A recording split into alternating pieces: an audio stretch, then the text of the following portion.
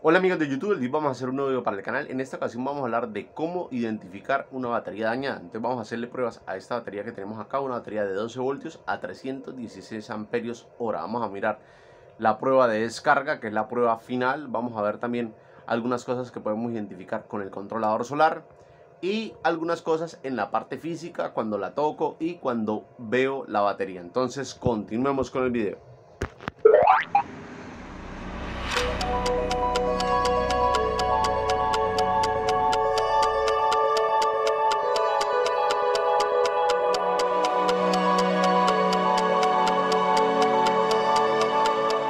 La primera manera de identificar si una batería está en mal estado es, nos vamos al controlador.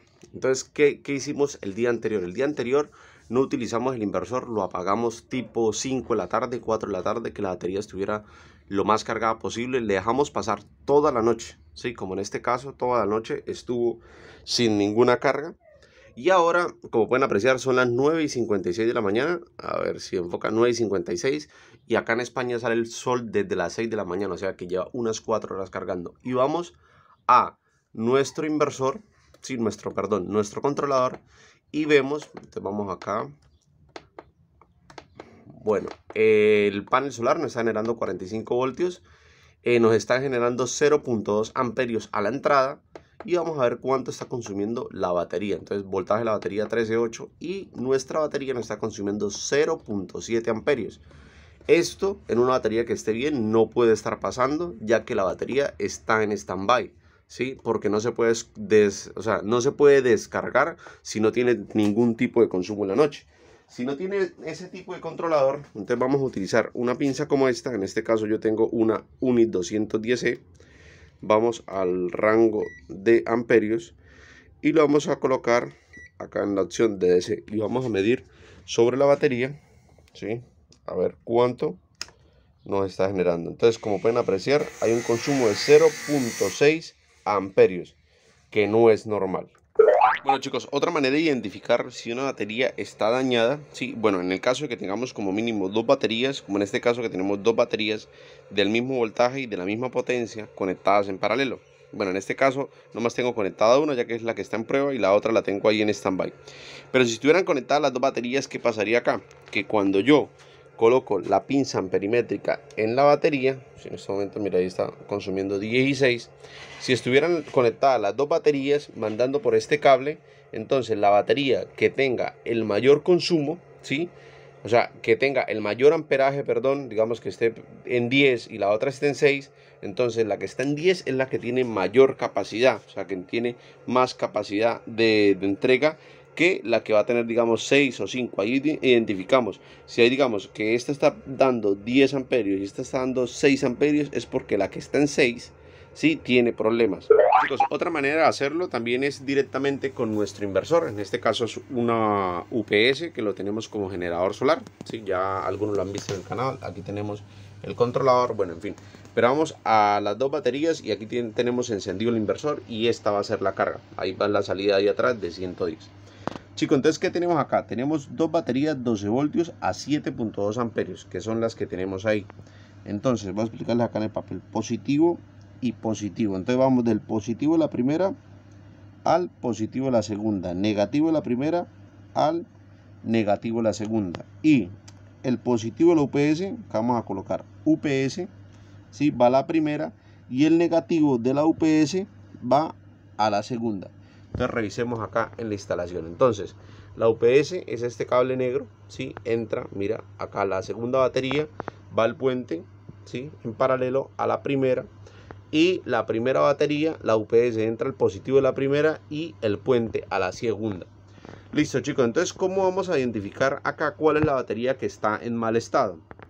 Entonces, vamos a colocar una carga. Entonces ahí ya tenemos la UPS está encendida, o sea, el inversor está funcionando y lo que hacemos es, colocar la carga entonces vamos a encender esta carga lo primero, si es esto, si la tenemos a paneles solares, entonces quitamos el panel solar, sí, que es el que nos está cargando las baterías. Y en el caso este que es un UPS, entonces lo que vamos a quitar es el suministro. Vamos a quitar, sí, la AC para que quede solo a baterías. Entonces chicos, lo que vamos a hacer acá es medir ¿sí? en el cable negro o en el cable rojo en la salida directamente hacia el inversor, vamos a medir cuánto, ¿sí? en ese momento nos está consumiendo 1.56, o sea, está consumiendo de las dos baterías 1.56 y lo anotamos. Entonces, el consumo del inversor, ¿sí? Con la carga es de 1.56 amperios, ¿sí? Ese es nuestro consumo. Ahora tenemos que mirar de dónde sale dicho consumo. Entonces, vamos a mirar el consumo que sale de, en este caso, si medimos este cable, este cable va a ser directamente la primera batería. Entonces vamos a ver, batería 1, sí, acá está al revés. Batería 1 nos está generando 1.73, ¿sí? O sea que la batería 1, vamos a anotar acá, batería 1 es igual a 1.73, o sea que nos está enviando todo el consumo. Ahora vamos a mirar la batería 2.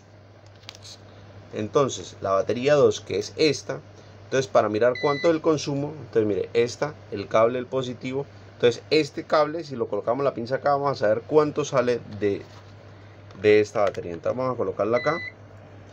Y como pueden observar, del cable de esa batería está saliendo 0.14. Entonces, batería 2, batería 2 igual a 0.14. Listo, chicos, dirán, no, pero es que, ¿cómo dar eso? Entonces, mire, entonces, por ejemplo, aquí tenemos, ¿sí? 1.54, que es el consumo. Entonces, vamos a ver si, si efectivamente está dañada la batería. Entonces, ¿cómo quito yo esta batería? Entonces, para yo quitar esta batería, si yo desconecto este, este cable, no más quedaría con la segunda batería. Entonces, vamos a ver primero la buena. Entonces, vamos a ver vamos a desconectar esta segunda batería para que no, no le dé suministro. Si yo quito el positivo, ya la desconecto, ¿cierto? Porque él va, el paladero va al negativo, que es el que va para el UPS, y el positivo es donde estoy sacando la carga. Entonces, si desconecto, mire, como pueden apreciar, no pasa nada, ¿sí? No se apaga nuestra carga, ni se apaga el inversor, ni se apaga la carga. Listo. Entonces vamos a conectarla nuevamente, ¿sí? Listo, chicos. Ahora, si quito este negativo, que es el de la primera batería, quedaría nomás funcionando la segunda batería. Entonces voy a, hacerlo y a ver qué pasa. Entonces mira, ahí está nuestro ventilador. Y como pudieron apreciar, de una se apagó nuestro inversor y nuestra carga. ¿Por qué? Porque la segunda batería solamente está entregando 0.14. Ahí la podemos identificar que está totalmente dañada la segunda batería. Bueno chicos, otra cosa que podemos identificar aquí, como puede usted apreciar, mira, allá, si ves, a la salida está botando líquido, sí, hay bastante líquido, mira, sí. Es porque los vasos están hirviendo, o sea que se está calentando. En una batería tan grande, pues no se puede apreciar, eh, digamos, la temperatura, si no se ve la temperatura, estos vasos si no, no tienen ningún problema, pero aquí podemos apreciar que este vaso tiene problema y este vaso también tiene problema, entonces este es el segundo indicio en una batería pequeña, pues apenas la tocamos, ¿sí? nos damos cuenta de que tiene problemas de temperatura, en este caso eh, hierven los vasos, eso tampoco no es bueno para la batería está indicando que hay una falla en la batería. Mira, acá también están hirviendo los vasos. Y no estamos en una temperatura, no está muy caliente el, día de hoy. Estamos alrededor de unos 28 grados. Y las baterías, como pueden apreciar, están dentro de la casa, están bajo techo. Entonces, continuemos. Entonces, vamos a ir aquí en la ventana comunidad. Les dejo, sí, aquí ventana comunidad y les dejo la tabla donde dice el voltaje de una batería GM del 100% 13 voltios y hasta el 10% que es 1151 aquí la vez pasada o el video anterior hicimos eh, cómo hacer la prueba de descarga de una batería como esta aquí lo voy a dejar.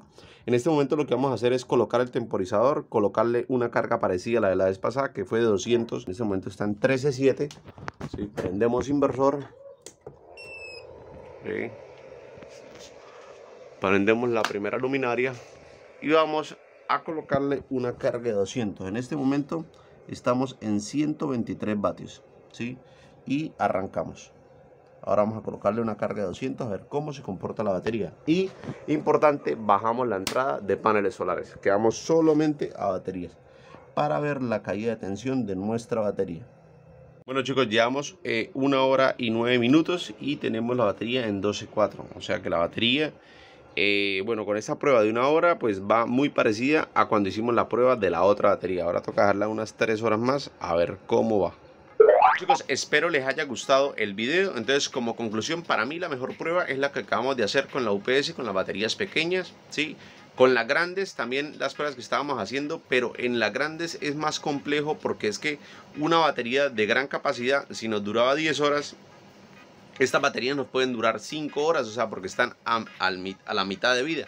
Mientras que, por ejemplo, la batería de la UPS, una está al 100% y la otra batería está prácticamente a un 10%. ¿sí? Entonces chicos, si les gustó el video, suscríbanse en el canal, dejen un comentario. Hasta una próxima. Bye bye.